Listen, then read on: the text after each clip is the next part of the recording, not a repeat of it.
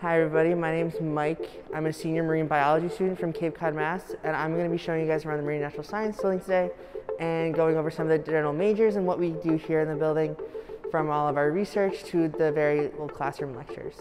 Within the Marine Natural Sciences building, there's majors from marine biology and biology to environmental science, aquarium and aquaculture, to chemistry, mathematics and applied mathematics, as well as physics housed within this building. Generally, all of the lecture halls are housed off and to the left down our lecture hall hallway.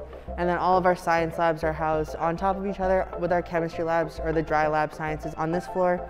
And then on the ground floor has all of our wet sciences, so all of our biology labs, as well as the wet lab, which we'll take a look at closer later.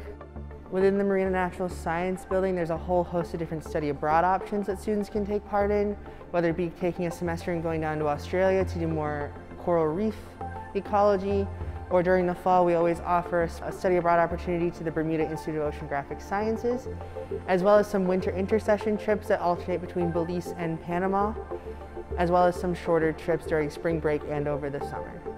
We're now standing in our chemistry lab hallway. All of our general chemistry courses, as well as the Core 101 science class, are all housed in this hallway with varying upper level science classes as well.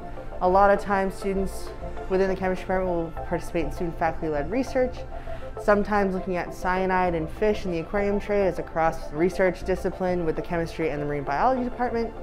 And someone I know in the department is working on the effect of melanin in skin. Now we're gonna start heading downstairs to go talk about our wet labs as well as some of the different research opportunities housed within our biology department. In the lab spaces on this floor the Marine Natural Science Building is all of our biology labs, so more or less our general freshman biology classes, as well as more faculty-led research spaces for our biology department.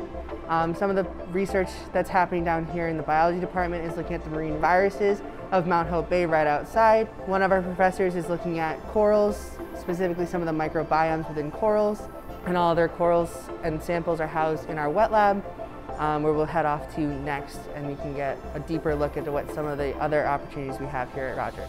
This is our wet lab here at Roger Williams University.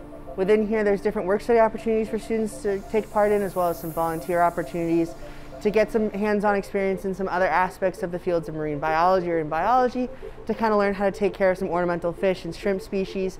Earlier, as mentioned, the coral research, their corals are housed in here in one of the middle trays. A lot of different classrooms will take part in housing their different experiments within our wet lab for growing different organisms and kind of seeing their growth and development as well as through this program we have connections with our with the New England Aquarium in Boston for different internship and research opportunities.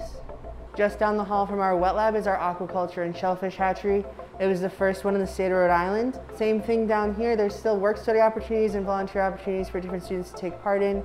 A lot more classes are aligned with the aquaculture hatchery facility, as well as our aquatic diagnostics lab connected through the back. Um, within this aquatic diagnostics lab is overseen by our aquatic veterinarian here on staff, who's one of the top people in her field, and then she gets samples sent from all across the country for people looking, wanting to know about their shellfish crop and see if it's okay to bring out to harvest. She also looks at different nitrogen diseases in oysters to kind of see if they're going to be healthy populations as well as kind of re help repopulate some of the natural populations. Any and all of the feeds for our shellfish larvae are all in these bubbling algae tanks across the hall in the observation gallery, where students will learn different skills of algae culture as well as shellfish culture. Just outside of the Marine Natural Sciences building, we have access to the Mount Hope Bay via our learning platform uh, right behind our Richard L. Brady Sailing Center. This learning platform is a great resource for students to utilize. A lot of times our shellfish are grown out into the adult stages out on the learning platform. It allows us to take real world life samples right off the dock as well as access our research vessel that all first year students in the marine biology program will be able to go out on to do some real world experience to kind of apply what they're learning in the classrooms, as well as some upper level bio classes.